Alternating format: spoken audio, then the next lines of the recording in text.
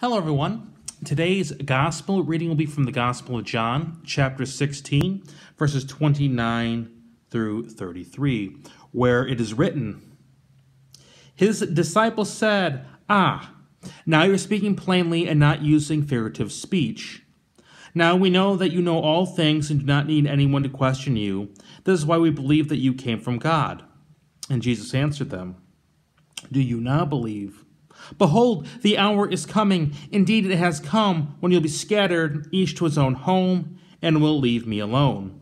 Yet I am not alone, for the Father is with me. I have said these things to you that in you, that in me you may have peace.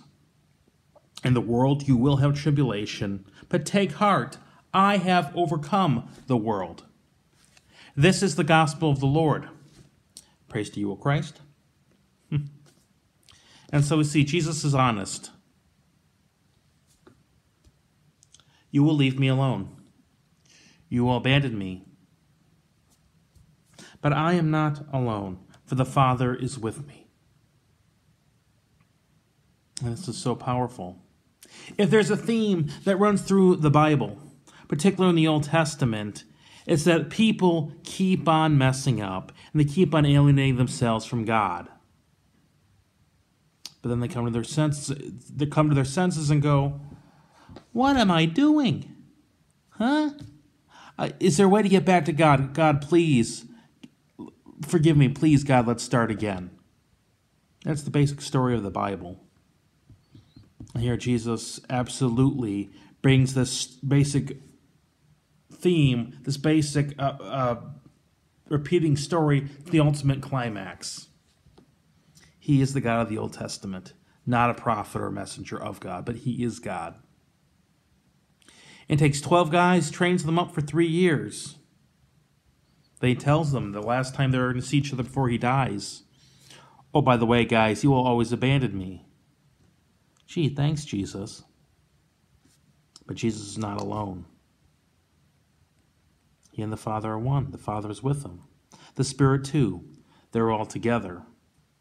Am I going off to die? He'll grant forgiveness to the same apostles that abandoned him. I'll forgive them and take them back. So, in this moment, we have the ultimate uh, theme of the Old Testament brought to fruition. When you have messed up,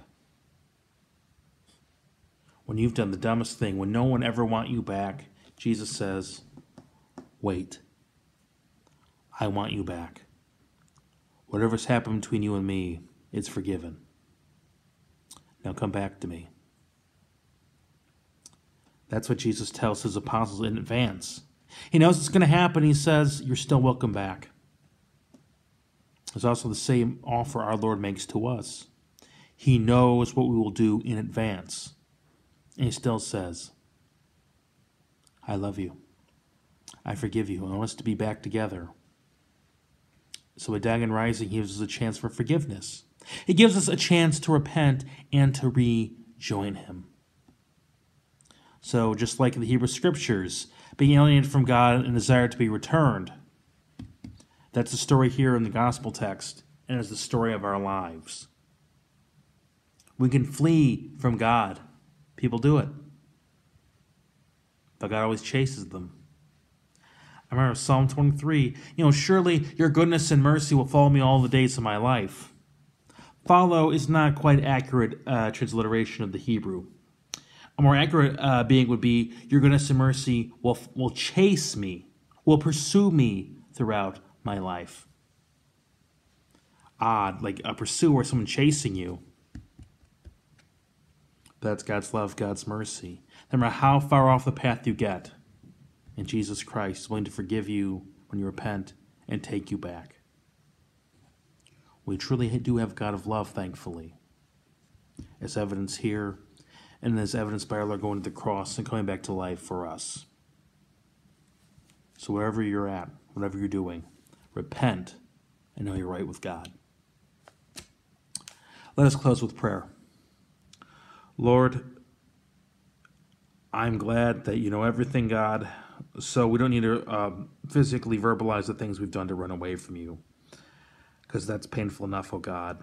Thank you, God, for loving us. Thank you, God, for forgiving us. And thank you, God, for giving us new life in you. Amen.